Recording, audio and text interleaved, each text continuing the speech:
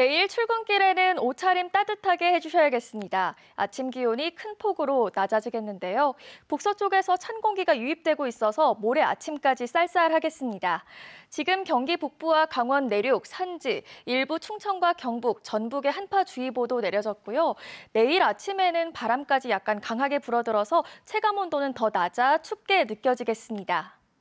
내일 전국이 대체로 맑은 가운데 새벽부터 아침 사이 동해안에는 빗방울이 떨어지겠습니다.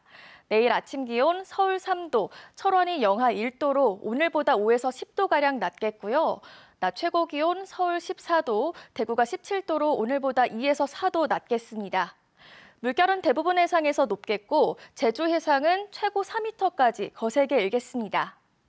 자세한 제주 날씨입니다.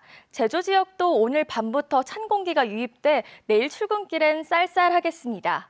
내일 아침 한라산 정상 부근의 기온은 영하로 떨어져 결빙되는 곳도 있겠고요. 중산간 이상 지역은 곳에 따라 서리가 내리기도 하겠습니다. 농작물 냉해 피해가 없도록 주의하시기 바랍니다. 내일 아침 기온 오늘보다 4, 5도가량 뚝 떨어져 쌀쌀하고 낮 기온도 오늘보다 약간 낮겠습니다. 현재 서부와 동부 앞바다 제외한 제주 전해상에 풍랑주의보가 내려져 물결이 높게 일고 있는데요. 내일 오전까지 서부와 동부 앞바다 제외한 전해상에 물결이 높게 일고 바람도 강하게 불겠습니다. 모레 낮부턴 다시 기온이 오르겠습니다. 당분간 구름 많거나 맑은 날씨가 이어지겠습니다.